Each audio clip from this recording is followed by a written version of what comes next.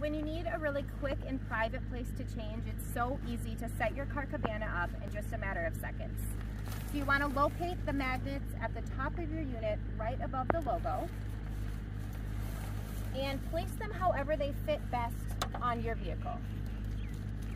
I'm going to place one above the light and one under the light, all four magnets attached to the car, and then open the hatchback and let it all fall down.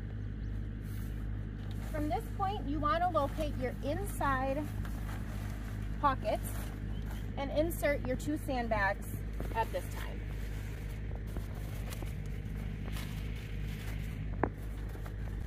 Now, dragging that sandbag if you need to, attach one magnet above the window and one magnet underneath, securing your third sandbag into the corner pocket.